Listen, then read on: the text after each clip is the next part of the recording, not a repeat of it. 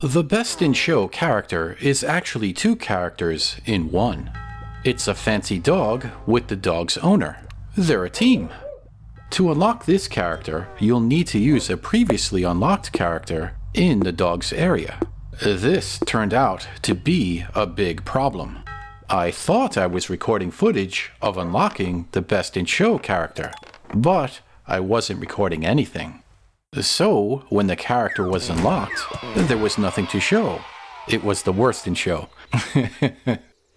then I tried playing on a different copy of Crossy Road, one where the best in show was still locked.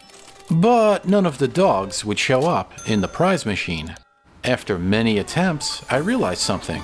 I should be playing Crossy Road Plus on Apple Arcade.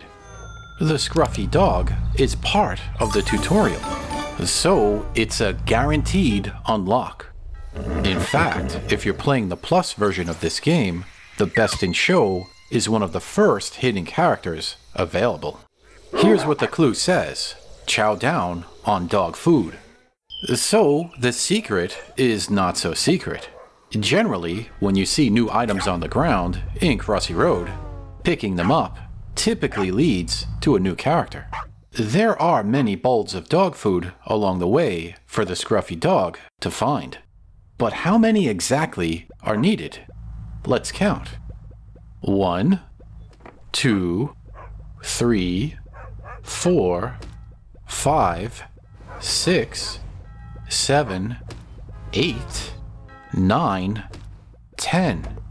Ten bowls of dog food are needed to unlock the best in show character.